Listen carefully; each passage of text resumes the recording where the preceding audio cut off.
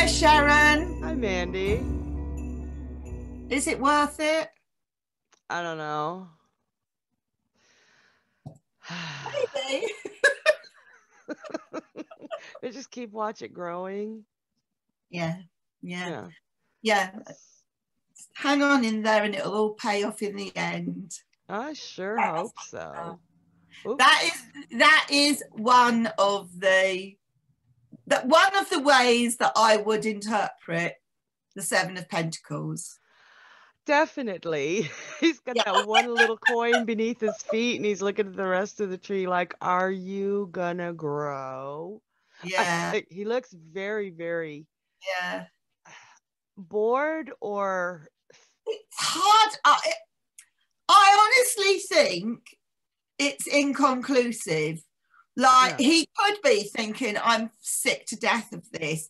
Like I'm just working so hard, and it just and it just doesn't seem to be getting anywhere." On the other hand, he could be looking at it thinking, "I'm worn out, but you know, I've achieved quite a lot today." It's- yeah. I, it's I don't know. I think there's a variety of interpretations because I don't think the expression on his face is definitely one thing or another. Oh, he could be dre- daydreaming about what he's going to do with the rest of those coins. He sure Uh, yeah, be. yeah, and and also it's like, is this work he's already done, or is this work that he still has to do? Like, is he, you know, is he making that bush grow with abundance? So he's only got one pentacle left to kind of plant on the bush, or is it that he has to get all the fruit off the bush and he's only done one and he's still got all the others to go? really, it's really open to interpretation, just even on face value. And I went through a period of time too where this one um it felt like you know how you work your butt off for somebody else and uh, and and you've got the one coin and you're watching the, all the other coins go to them and when I worked in retail it was like wow you know Absolutely, that you just get your little bit and uh, somebody else is benefiting from it. But on the other hand, you might be he might be looking at that thinking, one day I want to own my own business, so I'm the one that gets the lion's share. You know, it, it you it who knows how broad his thinking or narrow his thinking is. So again with yeah that ambiguity where he could just he could be doing so many things and I've seen him in many many different ways. Yes, yeah, surely you've heard this this this story. I, I know it's kind of early to tell a story but you know you know i have narcolepsy right yes. and one of the symptoms of narcolepsy is severe hallucinations auditory and visual Oh, And- okay. when I worked at the produce section, whenever I would put out the yellow squash, the summer squash, I would go into this like total autopilot fugue state and I would see the most amazing places in my head. And they all felt familiar, but they were all nowhere I'd ever been, just beautiful places. And someone would have to come by, one of the bosses, if they knew I was putting out squash, and stop me because I'd still be putting out squash and the box be empty, right? oh, really? So my boss was like, Sharon, you got to ask your doctor about this. I was like, there's no way this is a medical condition. That's stupid. So I went to my sleep doctor and he pulled out these flashcards of colors and he flashed them all at me.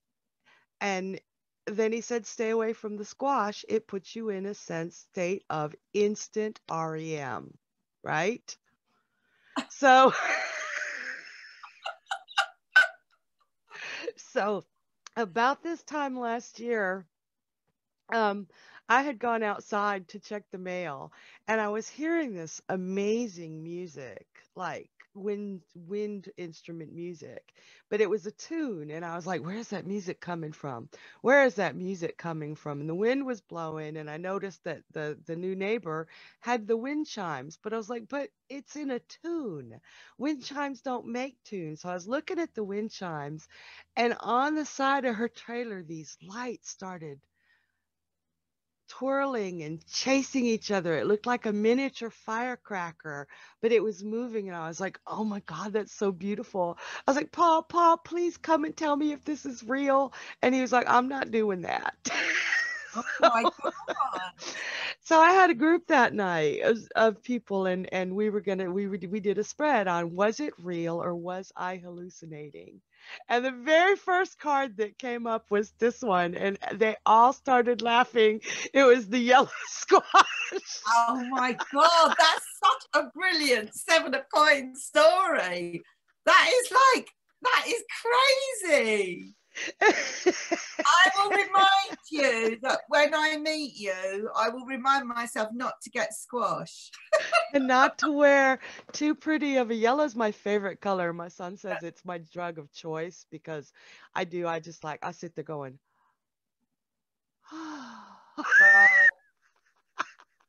God. That's amazing. So no, I, I just honestly think you've just got to absolutely open your mind to what that card could be telling you because I think there's loads of possibilities. Um, I I also I can remember saying I might have said this when it was in reverse, but I can see it uh, also in the upright about there is a separation between him and and the workload. It's kind of like it's there and he, and it's close to him, but he's not actually he's not actually touching it. And, and, Yeah. and for some reason that was relevant in a reading at one point about a kind of like you know there was a division between him and, and the work that he had to do. So you know I, i've spotted the gap. The gap meant something on one occasion. yeah. I also think he's he's very unproportional, isn't he, physically? He's got short legs and an extremely long body. I think it's the tunic itself is just so large. It's like maybe he's wearing clothes too big for him. And that could mean reminds something.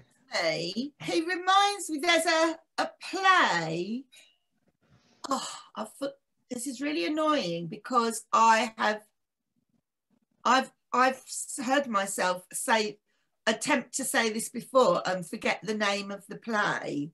But there's a famous play that is written about a guy who's very, very large. He's very big, not necessarily large as in fat, but he's he's big and he's kind of he's clumsy, but he's a, like a big, gentle giant. And I think he hurts someone or kills someone. Of mice and men. That's the one. Yep. Thank you. You're welcome. he kills someone or he hurts someone and it's completely accidentally but just because of his physicality and and i it just might be relevant to this card as something along those lines Yeah, absolutely. That's the beauty of the tarot is that that it does it spurs those thoughts, those those randomly seeming thoughts. yeah That's your intuition hard hard at work. yeah So could definitely be something like that. yeah yeah and actually i i'm really noticing it here more so here now than in my deck so i don't know if my deck has been put right but the boots are slightly different colors to each other Yeah, I think in the the newer decks, this one is the Pamela C. right Um, so I think in the newer decks, the uh the boots are the right colors. Right, but yeah, it, he has sort of slightly got it wrong, hasn't he? Yeah. Yeah. So yeah, I I, like I quite like this card come when it comes up because I think it's quite a neutral card in itself. It's new. It's it's definitely not an extremely bad card or an extremely good card. It is somewhere in the middle, and it can go in any direction, really. it really uh, could.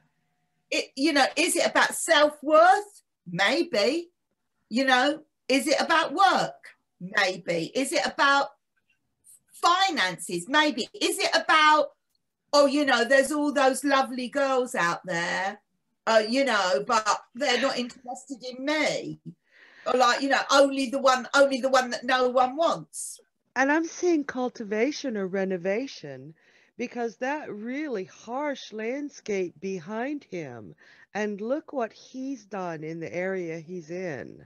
Yes, yeah, that's lovely. So no, that I, might not just be a look of boredom. I mean, it might just be a look of contentment. If you don't mind, Sharon, I'd quite like to show you the two cards that I brought in simply because I want to prove how flexible the Rider Waite is compared to certain other decks. I mean, I can't talk for every deck.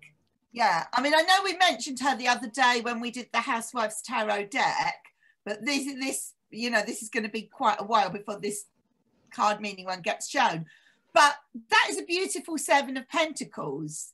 I mean, yes. you know, she's there. She's got her lovely basket. She looks elegant. She's got, she's very classy lady. To me, this is much more Nine of Pentacles than Seven of Pentacles for a start. But you know, the garden is blooming. The flowers are all blooming. Everything about this card is so middle class and excellent.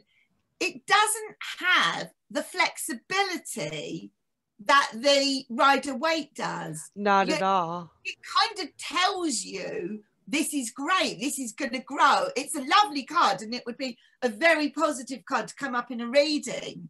Whereas the Rider Waite version, you just got to go with what your intuition tells you on that particular day because one I will see that Rider Waite version in many, many different ways. I will see the expression on his face change for me. Like every time I look at that card, I don't know what, what it's going to say to me today. Whereas I feel this one, I'm going to have a very similar message every time this card comes up. Other than I'm not, uh, you know, answering the question, if that if that makes sense. Some people prefer that, but it's so to me, and, and I'm not going to knock anybody who prefers one because they may be learning, but yeah. that limits their learning as well. I I I I would recommend starting with the one of the harder to read decks where you have to rely on your intuition so you can yes. learn. And then after you've learned how to use your intuition, then go to the deck that really snags you and learn that deck. Yeah. So yeah. it is limiting. No, this is an absolutely lovely card and I really like it. And and and it would warm my heart you know, when it comes up in a reading, assuming it's, we're talking upright cards at the moment, you know.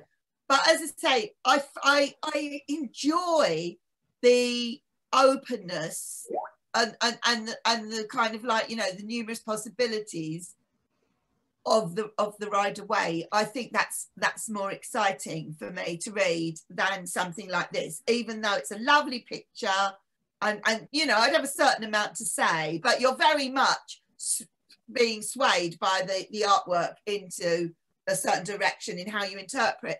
Now, again, in a very different way, it's you're you're being pulled in a very certain direction on how to interpret it. Mm-hmm. So whereas she's all happy and content and beautiful in her garden, this guy really is sad and fed up, and you know, it's like that.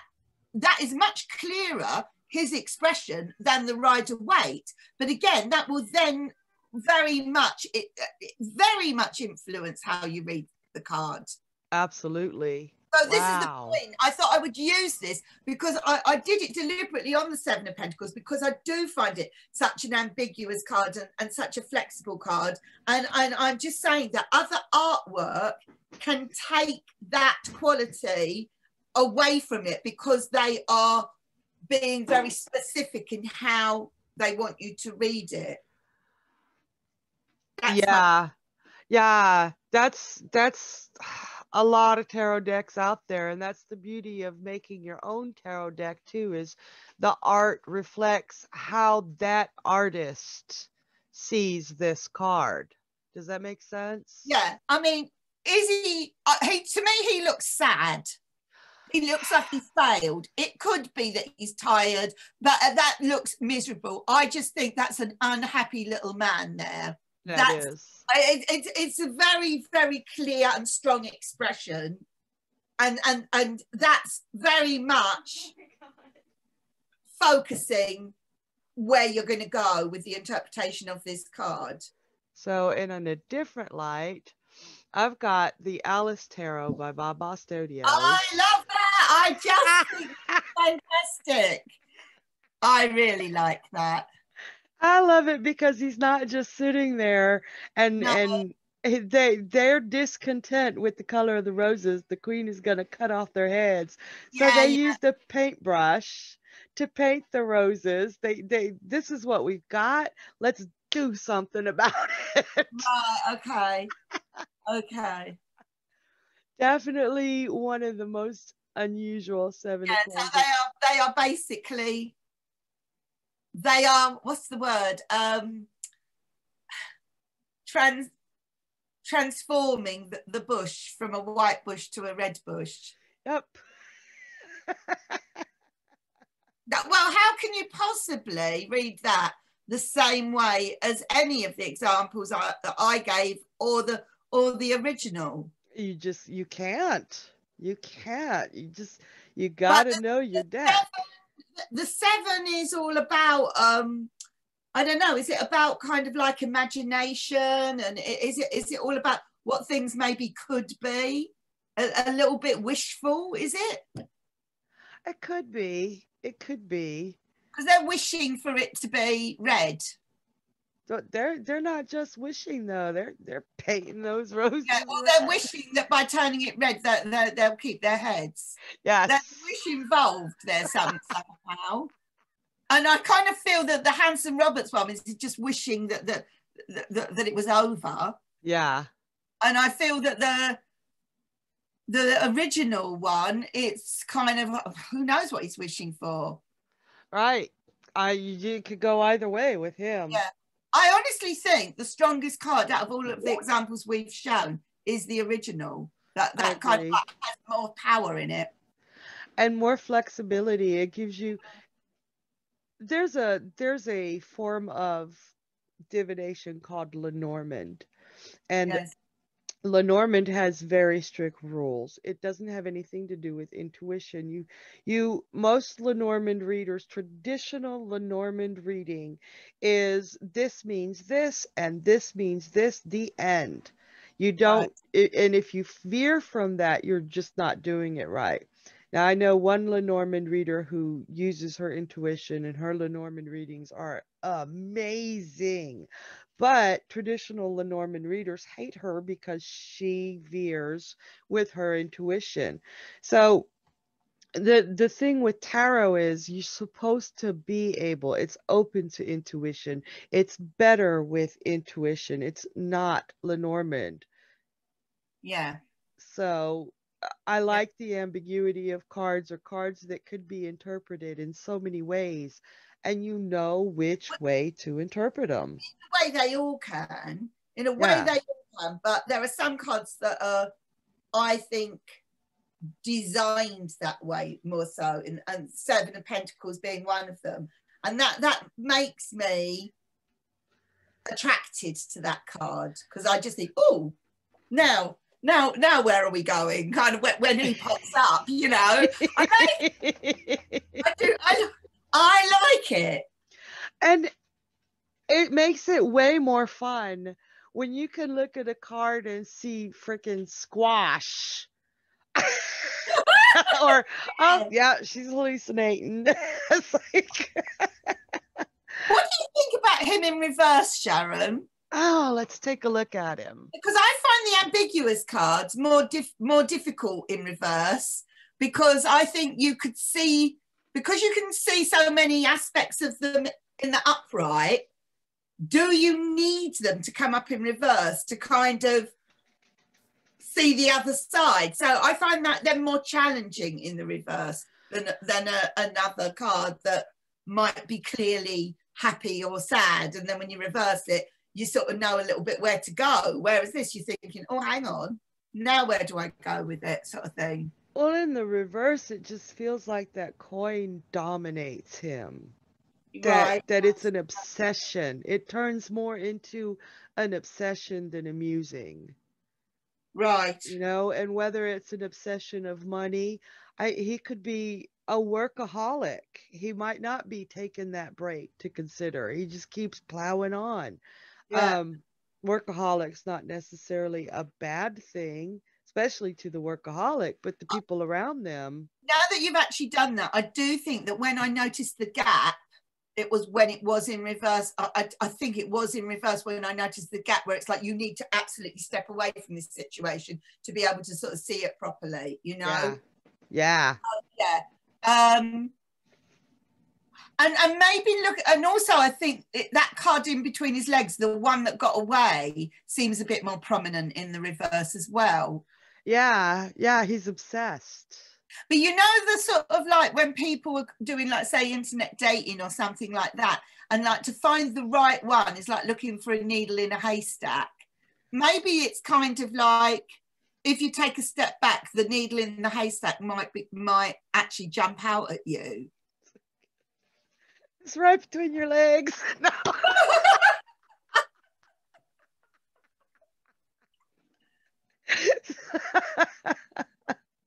yeah, again, I just think you have to let your intuition dictate why it's come up reversed. And the best way to get in touch with your intuition is play with the cards. Yeah. You know, do it out of context instead of going straight into a reading. Look at that card and see all the different things it could mean to you. Yeah. Then you don't get tripped up when it means something really weird. Yeah.